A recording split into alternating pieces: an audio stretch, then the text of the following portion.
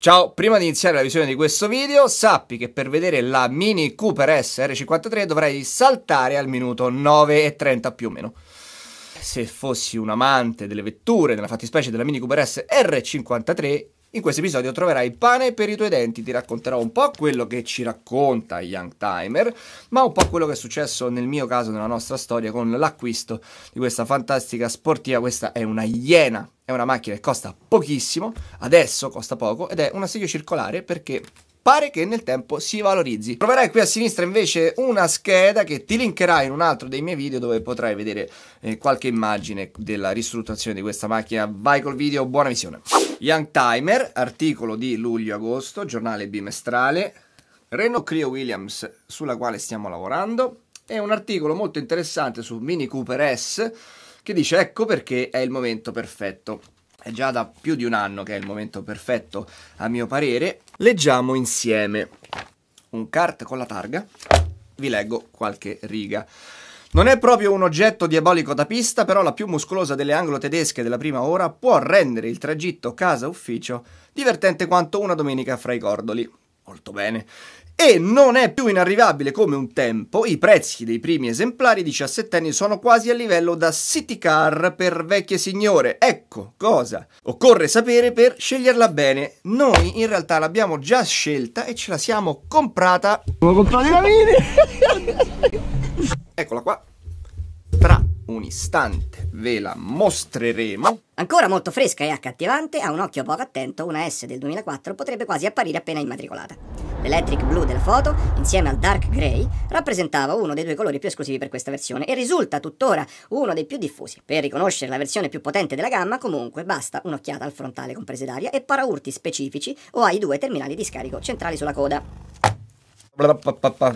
Vabbè, molto interessante l'articolo che tra l'altro è di 1, 2, 3, 4, 5, 6, 7, 8 pagine. Paragrafo importante di questo articolo racconta che c'è anche una Mini da 218 cavalli, un po' italiana ma è rarissima. Nel 2006 Bertone ha sviluppato la Mini Cooper S John Cooper Works GP Kit per gli amici GP. Alleggerita di 50 kg con differenziale autobloccante, cerchi in lega specifici da 18 e appendici riprese dalle mini del Challenge monomarca. Rinunciava ai posti posteriori e climatizzatore e DSC erano disponibili solo a richiesta. Col eh, 1600 portato a 218 cavalli liquidava lo 0-100 in 6 secondi e mezzo e toccava i 235 km orari, non male per una macchina così piccina. Scovare uno dei 2000 pezzi prodotti è difficile e i prezzi possono toccare i 35.000 euro.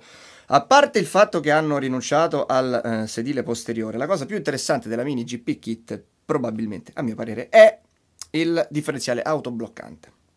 La Mini l'abbiamo comprata più di un anno e mezzo fa, ora Young Timer ci scrive, ora luglio-agosto, quindi già qualche mese fa, ci scrive che è il momento giusto per comprarla, noi lo avevamo intuito un pochino di tempo prima. In effetti eh, avevamo voglia di acquistare io e Luca, che tra un attimo vi presento, che fa parte sempre di questo gruppo di amici che ha una grande passione per le vetture, decidemmo di fare qualche track day insieme. Io, come sapete, guido la Subaru e lui non aveva una macchinetta per, per andare in pista e quindi abbiamo pensato a una Mini Cooper S. Navigando su Autoscout trovai questo esemplare proprio di questo, di questo, colore qui, senza bande bianche sul cofano, ma eh, mi colpì molto il colore e i cerchi neri, che sono quelli che sono montati della Momo, e, però un, un, un, celeste più chiaro rispetto a quello che poi abbiamo eh, rifatto.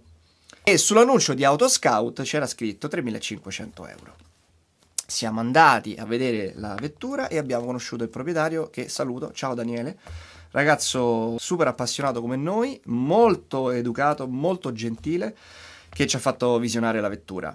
Abbiamo subito notato che era messa male, c'era una bella botta sulla fiancata destra, andava completamente riverniciata, i paraurti anteriori e posteriori erano mangiati, marci da cambiare.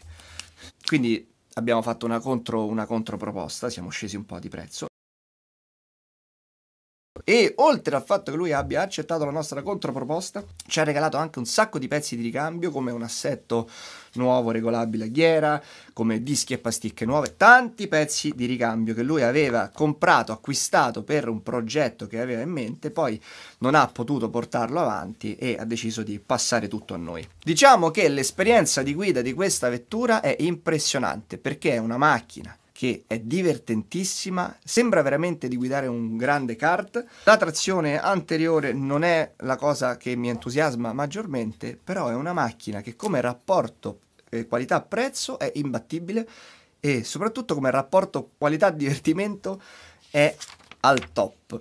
0-100 in 7,4 secondi, velocità massima di 218 km h riprese molto pronte. Il consumo nella prova su strada meritò 3 stelle, 10,6 litri ogni 100 km rivelati, 8 dichiarati. Ma negli anni successivi diversi clienti sottolinearono come l'ingordigia della piccola peste potesse risultare insaziabile. Probabilmente la verità stava, come sempre, nel mezzo. Se ci si attendono percorrenze da economy run è meglio puntare altrove. Ovviamente ragazzi le vetture sportive consumano. Di che cosa stiamo parlando? Ma se si apprezza il sound peculiare e studiatissimo del volumetrico e si cerca uno strumento che aggredisca le curve come un rasoio, la frequenza delle soste al benzinaio può passare in secondo piano. Anche perché, come si leggeva sempre su quattro ruote, lo sterzo è uno dei comandi più pronti e diretti provati su un'auto di serie. Pure l'handling colpì molto positivamente i collaudatori per chi desiderava di più, nel luglio del 2004 arrivò la John Cooper Works, ovvero un'evoluzione che pompò i cavalli fino a 200 grazie a un kit firmato dalla stessa officina dove 40 anni prima era venuta alla luce la vincitrice di Monte Carlo, ma approvato e garantito dalla severità tedesca di BMW testata, rivista con rapporto di compressione più elevato, filtro dell'aria modificato, iniettori maggiorati, interventi della sovralimentazione e impianto di scarico interamente nuovo. Una ricetta che profumava di meccanica più che stranezze elettroniche e permetteva alla Mini, secondo i dati dichiarati, di scattare da 0 a 100 in 6,6 secondi e di arrivare a 230 km orari. Il prezzo superava però i 28.000 euro, ben 6.000 più della Cooper S. Varrebbe la pena di assicurarle un posto in garage in ragione della rarità, a patto di non imbattersi in una vettura troppo chilometrata o sottoposta a ulteriori modifiche, che ne minimerebbero l'affidabilità. Insomma, andiamo avanti. A me l'R53 eh, piace perché rispetto all'R56 più piccina ha un centro di gravità un pochino più basso, è più corta, pesa 1050 kg, ha tutte le carte in regola. Questa Mini venne prodotta col cambio meccanico a 6 rapporti. Dal 2006 in poi arrivò il cambio automatico che io eviterei veramente perché il cambio di questa macchina è fantastico. Invece il cambio con le palettine che arrivò dopo non mi piace assolutamente. E qui c'è il verdetto. Già il nome è una garanzia di successo commerciale anche nell'ambito delle storiche, divertentissima da guidare, solitamente ben accessoriata e personalizzabile a volontà, meglio se con aplomb britannico, ma chi l'ha detto? Le quotazioni per gli esemplari in ordine stanno diventando piuttosto sostenute e qui c'è un, un riquadrino veramente, veramente interessante e divertente. Valore nel tempo. Quotazione di riferimento label AB. 1800, 2000, 2005, 3000, 3500, 5000, 7000, crescita rapida dal 2020 al 2025, o meglio dal 2018 al 2025, c'è una bella impennata del valore di questa mini storica, si può dire storica? Quasi ventennale, mancano due anni. Pro e contro, diffusa e facilmente reperibile perfetta anche nell'uso di tutti i giorni, buona affidabilità meccanica.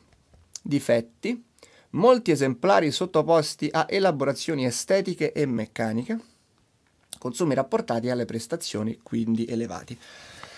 Tutto sommato, ragazzi, questa è una vettura che possiamo leggere articoli e parlare per ore e ore, ma tutto si riduce in un unico gesto, quello di sedersi all'interno dell'abitacolo, girare il quadro, accendere il motore, andare a farsi un giro e scoprire che la macchina è veramente una bomba. Andiamo a vedere com'è fatta.